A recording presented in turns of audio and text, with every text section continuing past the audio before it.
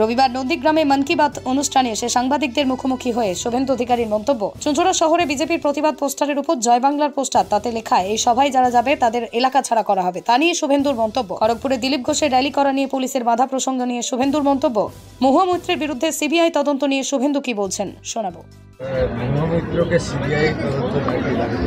ডেলিয়া একই প্রশ্ন করেন কেন?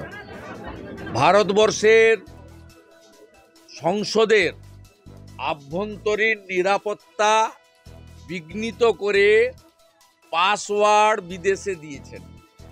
দুবাই ছিল মহুয়া মৈত্র সেন্টার। তাই এই অ্যান্টি ন্যাশনাল অ্যাক্টিভিটিজের জন্য মহুয়া মৈত্রর শুধু সাংসদ পদ বাতিল নয়, আগামী পাঁচটা ভোট যাতে দাঁড়াতে না পারে, তার ব্যবস্থা হওয়া উচিত এবং জেলে যাওয়া বলল অত্যন্ত নিন্দনীয় আর উনত্রিশ তারিখের সভার জন্য ইন্টিমেশানই থানাতে যথেষ্ট। কোনো অনুমতির দরকার নেই। কারণ এই সভাটা শুধুমাত্র নন্দীগ্রাম, খড়গপুর এই বিচ্ছিন্ন সভা কর্মসূচি নয়। এটা উনত্রিশ তারিখ যে কলকাতার মহাসমাবেশ যা কলকাতা হাইকোর্টের সিঙ্গেল বেঞ্চ পরবর্তীকালে ডিভিশন বেঞ্চ অনুমোদন দিয়েছে তার প্রচার সভা। তাই আমার সঙ্গে এখানে আসার আগে দিলীপদার টেলিফোনে কথা হয়েছে।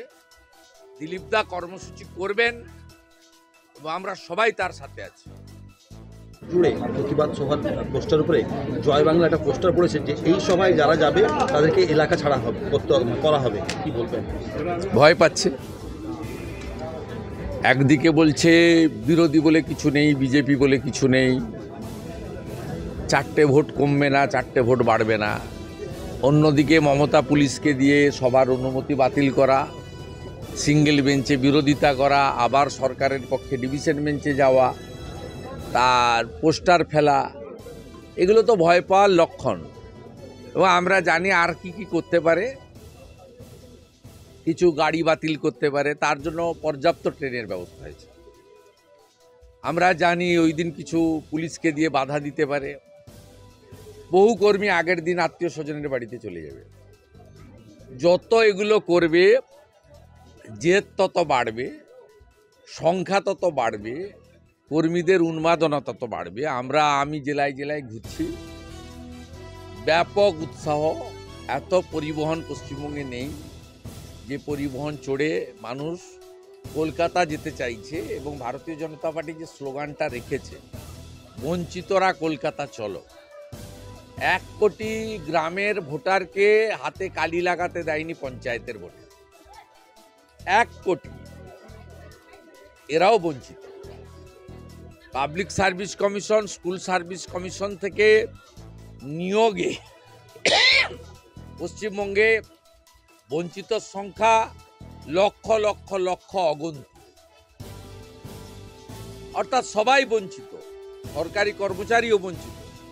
পেনশনার্সরাও বঞ্চিত।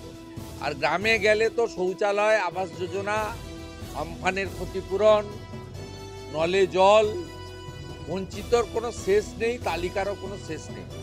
শুধুমাত্র সরকারের ক্যাম্পে একুশ সালের পরে বার্ধক্য ভাতার আবেদন সরকারের কাছে, পশ্চিমবঙ্গ সরকারের কাছে আবেদন হয়েছে বারো লক্ষ পঁয়ষট্টি হাজার।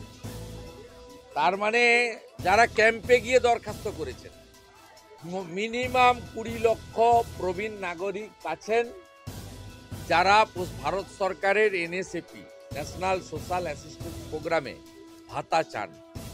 সব বঞ্চিতরা গিয়ে ওখানে মিশবেন এবং দেশের অন্যতম শক্তিশালী নেতা অমিত শাহজির বক্তব্য তারা শুনবেন এবং তিনি যে বার্তা দেবেন সেটা নিয়ে পিসি ভাইপোর এই কোম্পানিকে উৎখাত করার কাজে জনগণ আরও ঐক্যবদ্ধ হয়ে তারা মাঠে নামবে।